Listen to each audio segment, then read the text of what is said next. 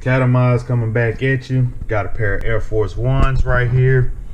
Um, as you can see, got the blue jean stains on the tongue and around the sock liner.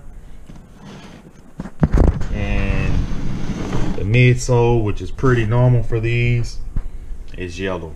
I don't know if you can see how yellow because of the camera, but they're yellow, but not that bad. So I'm going to unyellow these and then do a cleaning on that sock liner and that tongue. It's not too bad, but that yellowing can get annoying, get annoying, which is pretty normal for Air Force Ones or any shoe. No matter what, how much you wear them or don't wear them, they're still gonna turn yellow.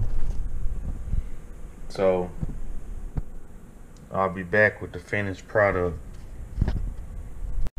Air Force Ones.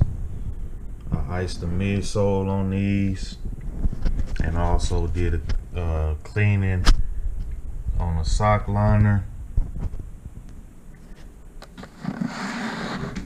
You see that icy white. Sock liner as well. I did the tongue also everything don't go back to exactly the way they were when you first bought the shoes, but it gets pretty damn close to it.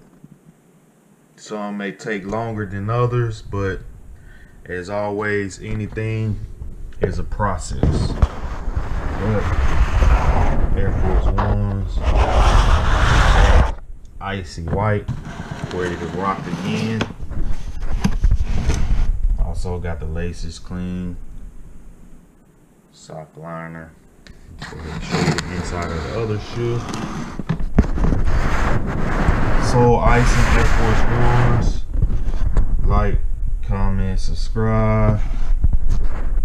And let me know what you think.